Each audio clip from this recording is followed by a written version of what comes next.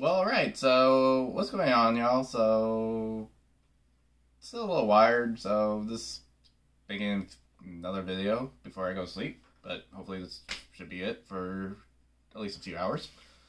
But, um, anyways, this one is kind of just a quick little discounted one because this this is my cheap one that I got from NewEra.com. Cost only five bucks because it's pretty basic, other than the fact that it just has a glow in the dark. Uh, of a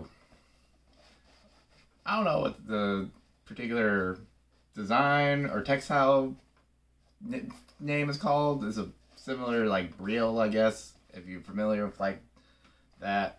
But this has these like bumps and ridges, dots here that do glow in the dark. But you know, with a lot of New Era hats, um, just needs a lot of light exposure before it really you can notice the glow. But the this one, otherwise, it's 100% polyester black, made in China. But it's pretty much a basic cap. But the side panels, it does glow, but like I said, it needs a lot of uh, exposure to light for it to really glow. Otherwise, you're not gonna get much of it. So it, I just got it because honestly, it was just a five dollar hat. So I think it was just a throw in for me when I was making a purchase. And usually when I buy hats, I usually get like multiple hats. I usually get at least two or three or however. So so that way I don't have to like mostly for shipping. So um but yeah, I mean this kind of a basic hat and if I was to say this would be a beater hat, this is probably it.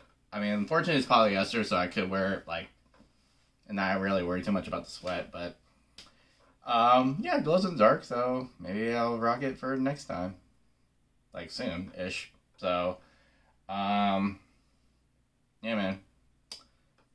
Now I really gotta go to bed, but um, contact. So tip of the cap. So this is how I want to end it here. Um, how's your boy? This is Van. We'll be we'll smell you later, cause we're gonna move on to the next one. So, till then, we out. Peace.